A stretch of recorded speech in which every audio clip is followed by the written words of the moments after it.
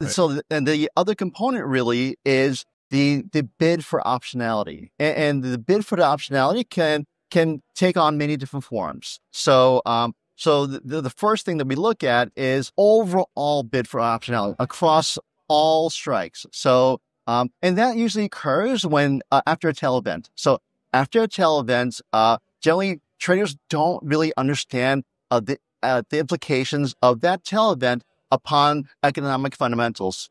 So they don't, and in turn, they don't want to sell options too cheaply. So they raise the price of puts, they raise the price of calls. And the way to do that is they they raise the entire, they lift the entire volatility surface, yeah. right? And I want to dive in here just to kind of uh, to simplify it a little bit. If if you slide down to a higher implied volatility, like you're like you're saying, Ed, you ultimately um, are at a higher vol, right? But maybe that higher vol uh, is is a scenario where the market hasn't really moved that much. If you drop a half a percent, was that more volatile?